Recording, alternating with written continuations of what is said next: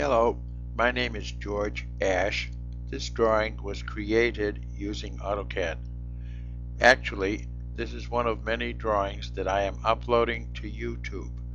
There will be between 20 to 30 new drawings available soon. My students at the Technical Institute where I teach have fun with them. When they are available for download, I'm sure you will enjoy them as well.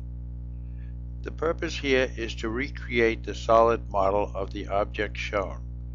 We will erase the solid and then redraw it. I'm going to erase the solid now and double click inside the large viewport and going back into model space. Using the rectangle command I will, I will trace the rectangle in the front view and move it to the upper right corner of the viewport. Now I'll use a polyline and trace the polygon in the middle of the rectangle and move that as well. We don't have to, but I think it's a good idea if we move into the southeast isometric view at this time. And let's zoom in on the new drawing. Let's extrude the large rectangle a distance of 1.25. I should have mentioned that we want to extrude it in a downward manner, so you would type minus 1.25. Now let's extrude the polygon inside in a downward position. So we'll type minus 0.5. Now subtract the polygon from this rectangle. You can make the subtraction by typing the word subtract or pushing the button on the solid editing toolbar. It looks okay, but let's make sure. We will now use the 3D rotate command which can be found on the modeling toolbar so as to rotate the object 90 degrees clockwise.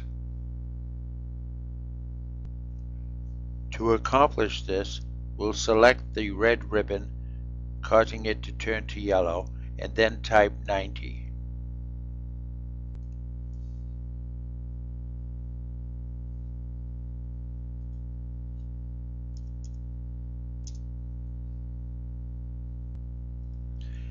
Now we'll shade the object by selecting the conceptual visual style from the Visual Styles toolbar.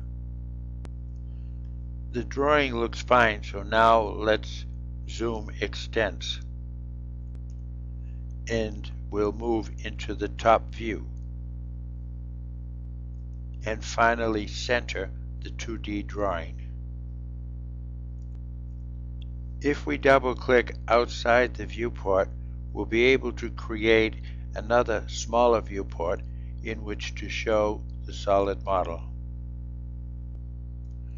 We'll make another viewport by typing the command mview, spelled M-V-I-E-W, enter.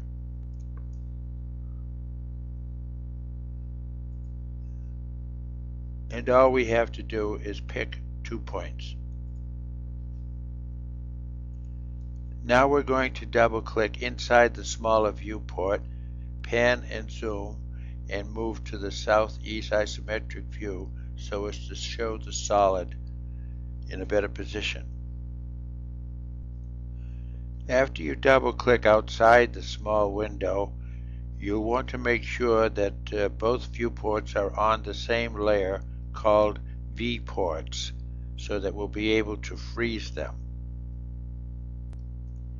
By freezing the layer of V-ports, the rectangular uh, drawings of the viewport become invisible, but the drawings remain.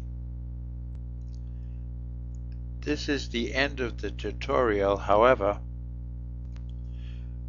another clip will now be added so that you might become aware of other videos which I am producing. For more information regarding these videos, please contact me via email. Thank you for watching. I hope that you will want to practice making solids models. It's fun. Thank you again.